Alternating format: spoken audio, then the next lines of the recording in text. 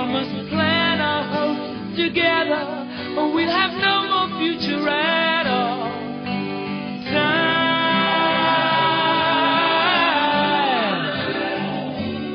Time waits for nobody.